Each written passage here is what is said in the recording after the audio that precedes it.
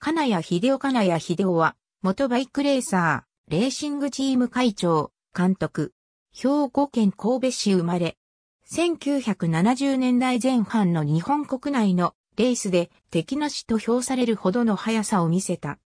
ヤマハワークスライダーとしてヨーロッパのロードレース世界選手権に参戦し、初戦の西ドイツ GP でいきなり優勝。さらに 500cc クラスと 350cc クラスで日本人初の優勝を遂げた。ニックネームは世界の金谷。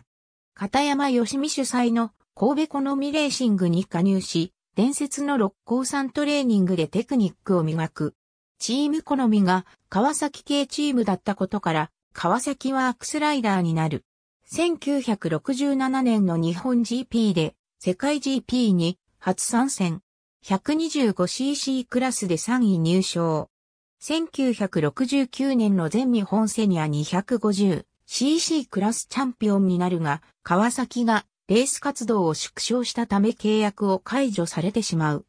1970年、選抜テストを受けて、ヤマハワークスに加入。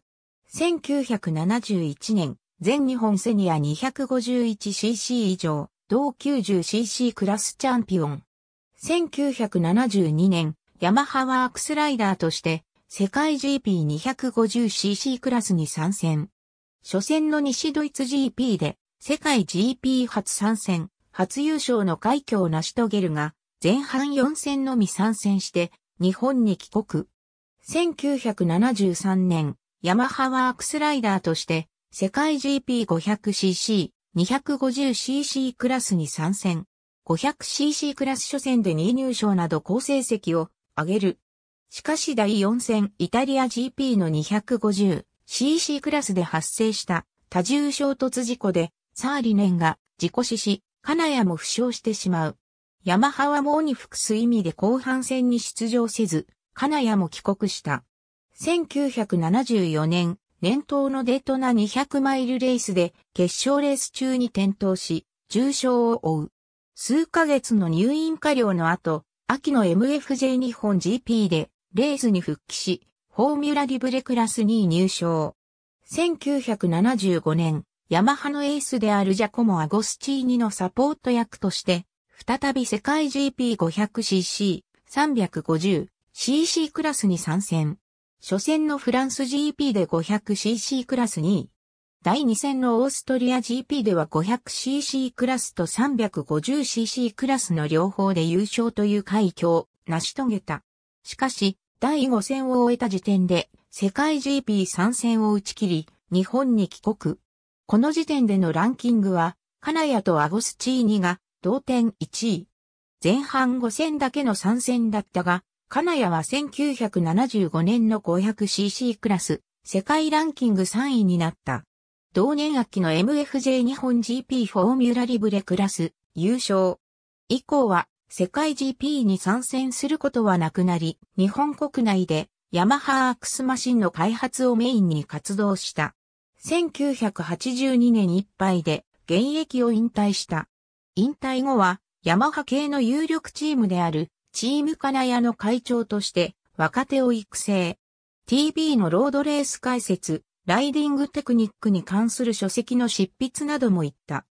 また1982年公開の映画、汚れた英雄では、レースシーンの監修を担当するなど、オートバイライフの浸透に力を注いでいる。川崎に所属していた1966年、富士スピードウェイで開催された全日本選手権、ロードレース大会ジュニア部門 250cc クラスに出場。アメリカ人ライダーのギャリー・ニクソンと接戦を展開した末に2位になる。金谷はまだジュニアのライダーだったが、その速さはライバルチームにも知れ渡っていた。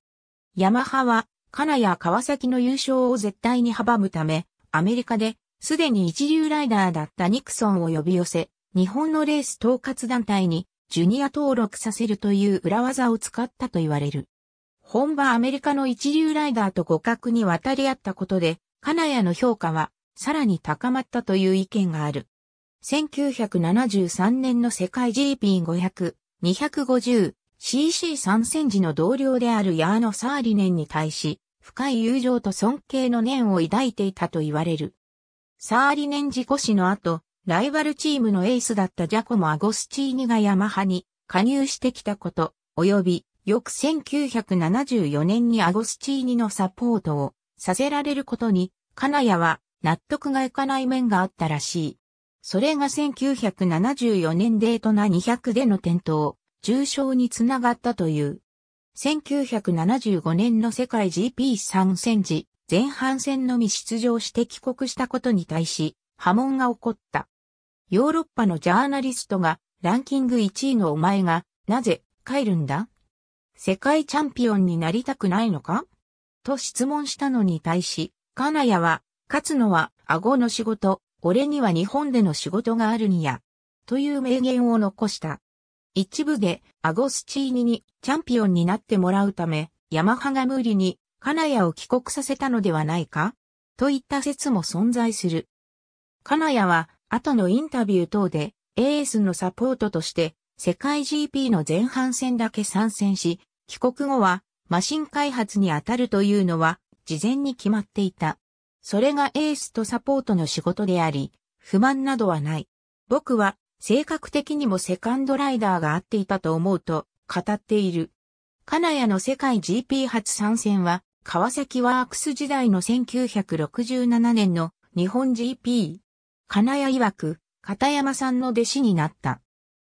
現在の国際ライセンス当時は、全日本チャンピオンに対し、MFJ からヨーロッパ視察の特典が与えられており、ヤマハと金谷はこの特典を利用して GP に参戦したと言われる1967年いっぱいで中断していたヤマハワークスの活動再開であり、同時にヤマハとしては、初の世界 GP500cc クラス参戦だった。ヤマハのライバルであるイタリアのメガボルトアグスタから、1973年末にヤマハに移籍してきた世界 GP500cc クラス優勝、同 350cc クラス優勝、世界 GP の2クラス同時優勝、いずれも日本人ライダー初同年のチャンピオンはアゴスチーニ。日本のメーカーが世界 GP500cc クラスでライダータイトルを獲得したのは、これが初。オイルショックの影響などで、ヤマハがレース活動を縮小したため、という意見がある。当時のヤマハワークスライダーは、マシン開発が主たる業務で、国内レース参戦は、年末の MFJ 日本 GP 程度に限られていたため、年間タイトルは獲得できないのが通例だったチーム金谷は金谷の現役時代から存在日本 GP と閉鎖。この当時まだ全日本選手権はシリーズ化されておらず、この一戦の優勝者が事実上の全日本チャンピオン、金谷はアゴスチーニ個人への恨みなどはないと語っている。ライバルチームのエースを引き抜くのではなく、既存のヤマハ系ライダーを抜擢してほしいという考えだったらしい。